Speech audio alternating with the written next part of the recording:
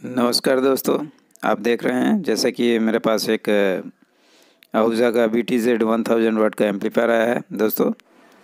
सो friends इस set में customer का कहना है कि अचानक चलते चलते इसका बीज ऑन डेड हो गया, धुआँ दे करके और अजीब सा आवाज़ करके। सो फ्रेंड्स मैं कुछ इस प्रकार से मैं इसे ऑन करके दिखाता हूँ। सो जैसे ही मैंने ऑन किया तो वाकई दोस्तों, देख सकते हैं वन जोन ही इसका ऑन है। और सिलेक्टर स्विचेस सारे ऑन हैं फिर भी ये सेट बिजन में ऑफ़ है। और हाँ दोस्तों मैंने ये वॉल्यूम को ऑफ़ किया तो पता चला कि इसका वॉल्यूम भी ख़राब है।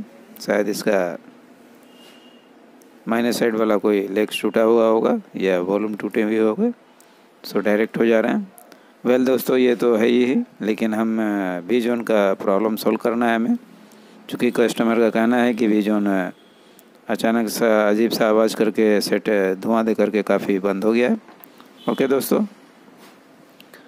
बने रहिए हमारे चैनल पे। मेरा नाम है आलोक और न्यू भारत इलेक्ट्रॉनिक मेरा दुकान का नाम है दोस्तों। जैसा कि बराबर बताता हूँ कि जब भी आप कोई सेट खोलें तो बारीकी से उसको निगरानी करें और देखें। जैसे ही मैंने सेट को ढक्कन खोल करके देखा तो मैंने पाया कि इसके जो स्टेप डेंट ऑफ़ है उसके जो ट्रोडायल से जो चालीस ज़ीरो चालीस का टैपिंग निकलता है, सो किस प्रकार से दोनों ही रेक्टिफायर, ब्रिज रेक्टिफायर से अलग हो चुके हैं?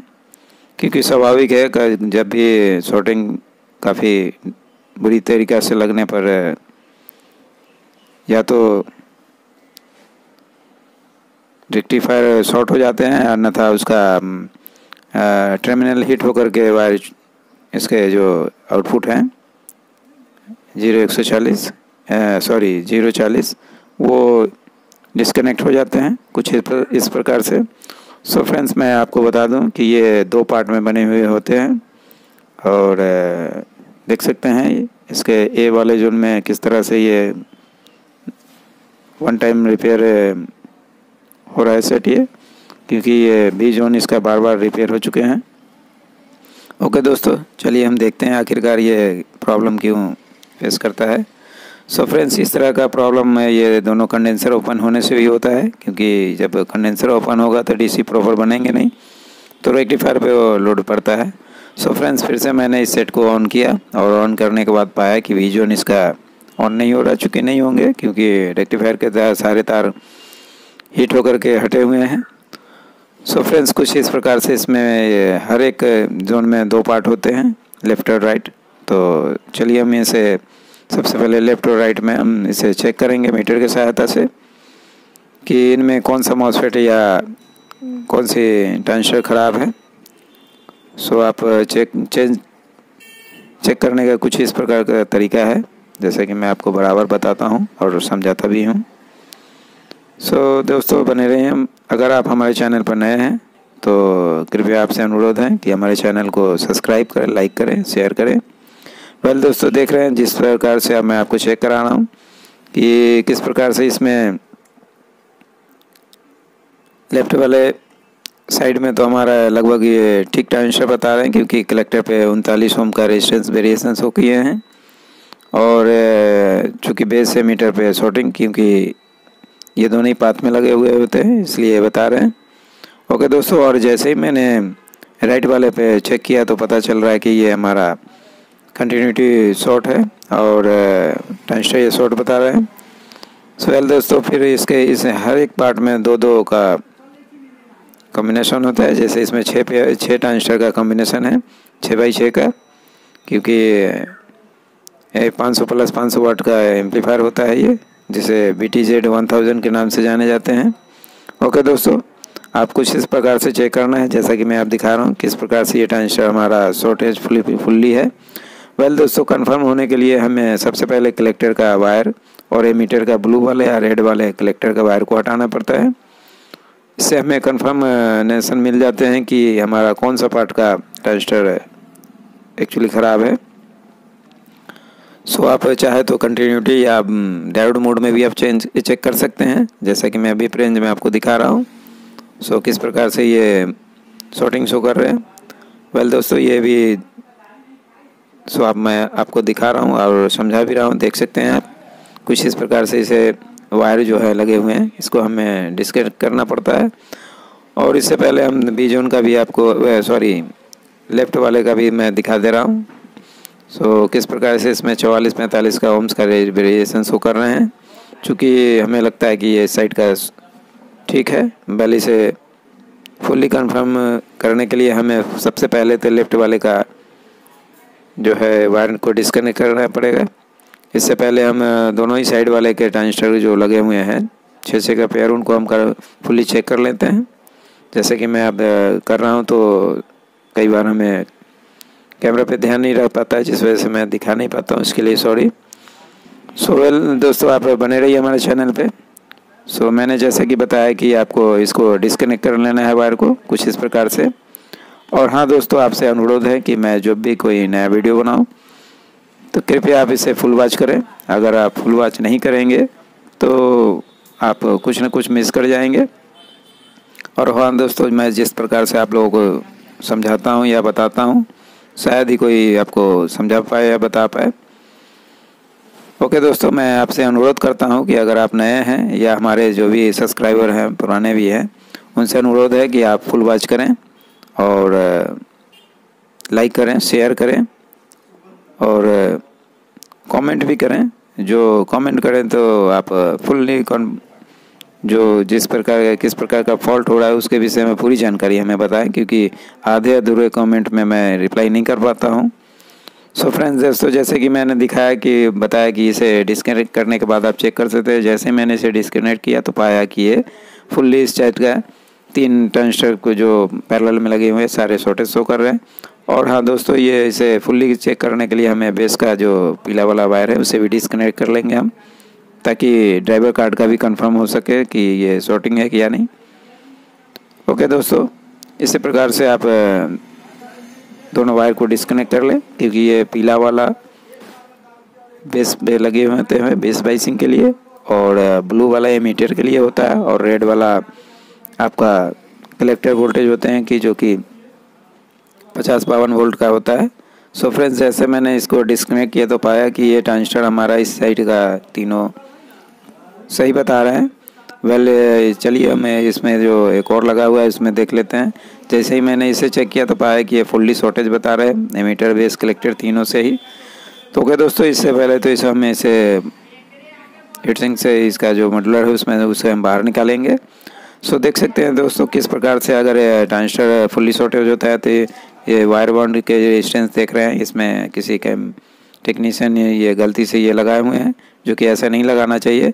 इसके वजह से सेट में काफ़ी सारी परेशानियाँ हो सकती है, क्योंकि कई बार लोग वायर बॉन्ड के रेजिस्टेंस का ओम्स का मान नहीं ध्यान दे करके कोई भी लगा देते हैं, जिसके कारण से उस समय तो सेट आपका ऑन हो जाएगा बट लोड जैसे ही दीजिएगा तो ये किसी और नए बीमारी का, में परिवर्तन हो जाता है, जिसके कारण से टेक्नीशियन को प्रॉब्लम होता है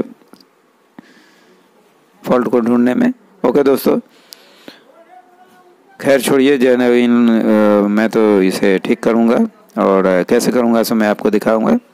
सो, बने रहिए आप हमारे चैनल पर। इससे पहले हम इसे रेक्टिफायर जो लगे हुए हैं, जो कि ओपन हो चुके हैं, क्यों हुए हैं, होने का रीज़न है, क्योंकि ये फुल्ली शॉर्ट होता है।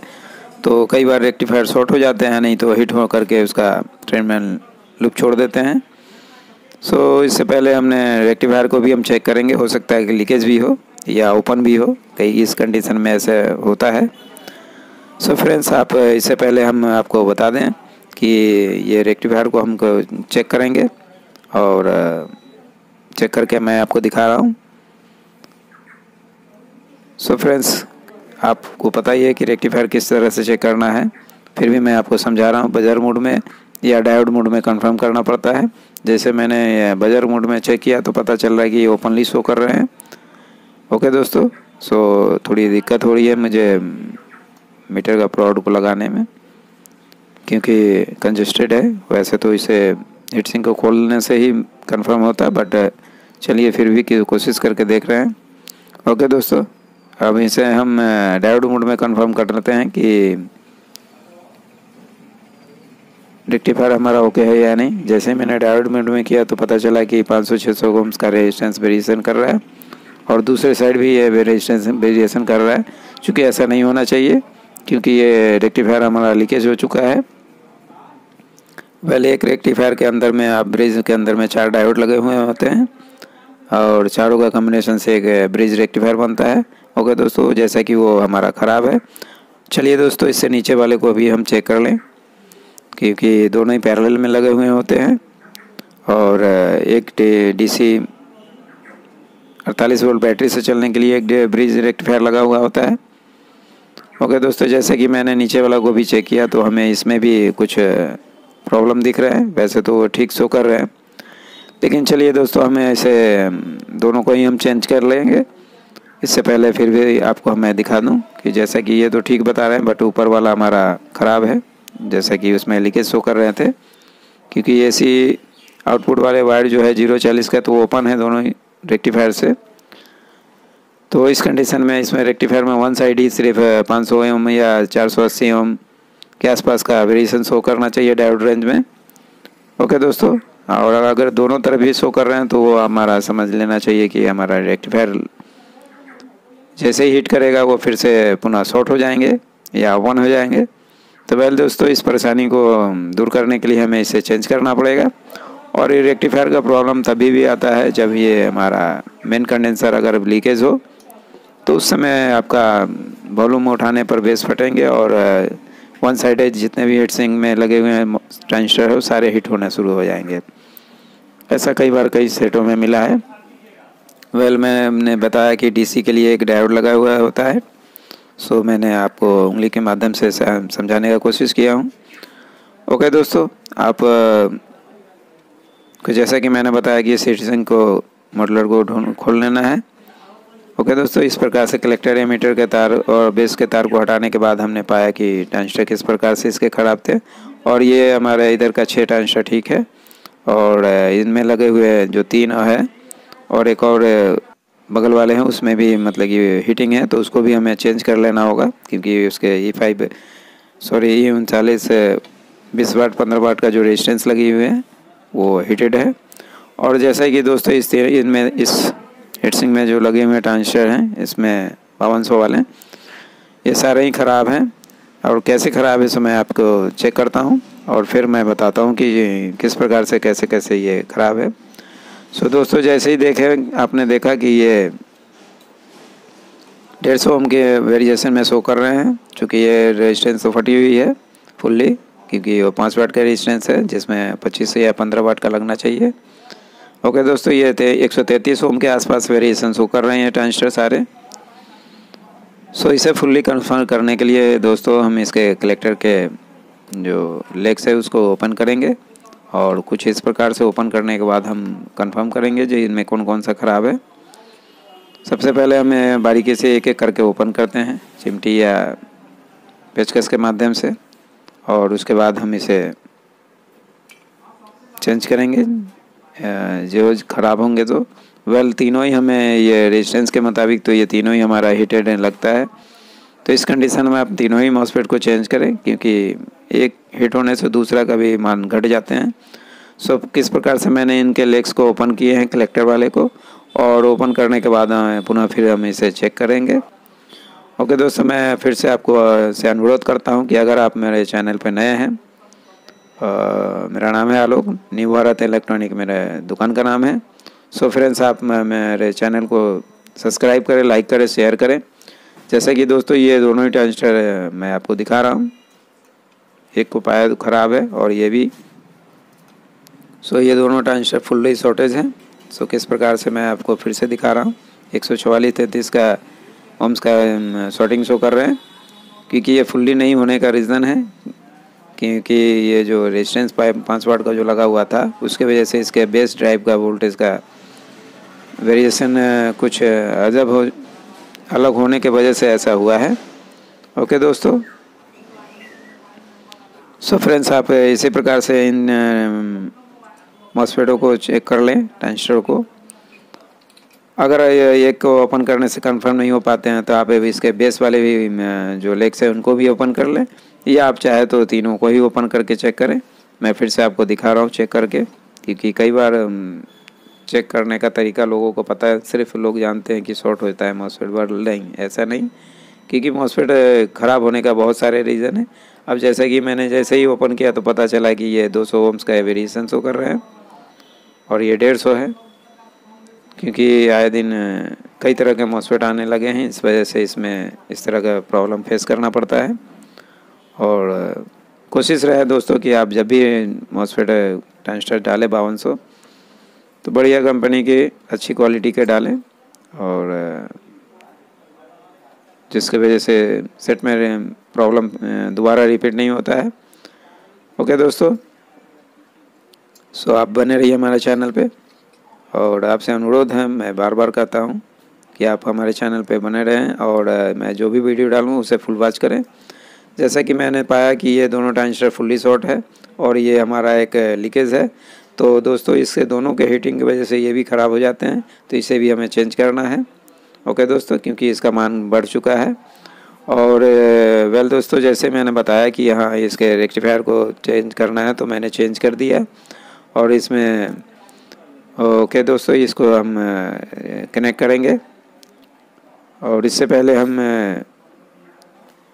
इसमें जो ड्राइवर कार्ड के लिए, जो सप्लाई के लिए जो तैंतीस वोल्ट, पैंतीस वोल्ट का जो सप्लाई जाता है डेढ़ सौ के माध्यम से, और हज़ार पैंतीस वोल्ट का कंडेंसर इसमें फुले हुए हैं, क्योंकि दोनों ही साइड के ड्राइवर कार्ड पे सप्लाई उसी के माध्यम से जाते हैं, जैसे कि आप सबों को, बहुतों को जानकारी ये नहीं होगी। बल यही है कि इस कार्ड की सप्लाई वहीं से आती है, दोनों कार्ड में, ड्राइवर कार्ड का। ओके दोस्तों, चलिए दोस्तों, जैसा कि मैंने बताया कि यहाँ इसे हम ट्रांजिस्टर को चेंज कर लेंगे तो चेंज कर लेना है, और कैसे कर लेना है सो so, जैसे कि मैंने ये दोनों डायोड को मैंने बाहर निकाल दिया है जैसे कि मैंने आपको बताया था कि हमने इसे चेंज कर लिए हैं तो इसे चेंज कर लेना है क्योंकि पहले ही मैंने लगा दिया था और उसके बाद मैंने सोल्डिंग किया उसे। सो मैं आपको लगाते और हटाते हुए नहीं दिखा पाया क्योंकि वीडियो हमारा काफ़ी लंबी हो जाती है। ओके दोस्तों ये आप जब भी कोई रेजिस्टेंस बदले जैसा कि ये पंद्रह वाट का उनतालीस ओम का रेजिस्टेंस है और वो बीस वाट का है सो थोड़ी लंबी है और ओके दोस्तों, इसी प्रकार से मैंने जैसे ही मैंने सेट का ये रेजिस्टेंस और मॉसफेटों को बदलने के बाद मैंने इसे हम फिर चेक करेंगे। तो किस प्रकार से इसको चेंज कर लेना है सो मैं आपको दिखा रहा हूँ। ये इस प्रकार से रेजिस्टेंस को लगा लेने और हाँ दोस्तों, ये इसका ख़राब मॉसफेट ट्रांजिस्टर है, जो कि बावन है। और इसमें भी एक रेजिस्टेंस जिस प्रकार से हीटिंग हो चुके हैं तो मैंने इसे भी देखा तो इसमें लीकेज था। तो मैंने इसे भी नया एक लगा दिए हैं, जिसमें चार मॉसफेट हमने लगाए हैं। चलिए दोस्तों, इसे हम इस प्रकार से इसको कनेक्ट कर लेंगे और कनेक्ट करने के बाद सोल्डिंग कर लेंगे। क्योंकि ई फाइव रेजिस्टेंस का जो पीसीबी को मैंने ओपन करने का रीज़न था, क्योंकि ये हीट करने के बाद नीचे से ड्राई हो जाते हैं इसके वायर लेग्स इसलिए इसे हमने फुली चेक किए हैं कि हाँ ये ड्राई तो नहीं है।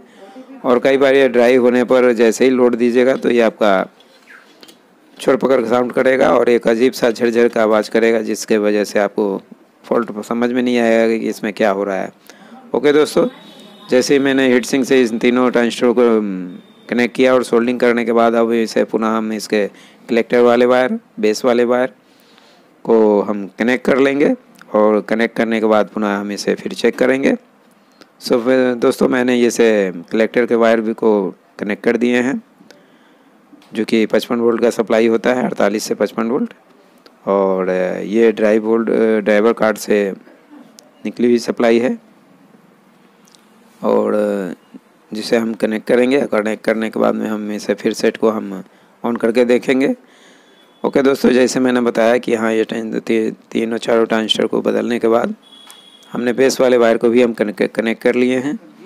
और कनेक्ट करने के बाद हम इसे ड्राई बोल्ट चेक करेंगे सेट ऑन करके।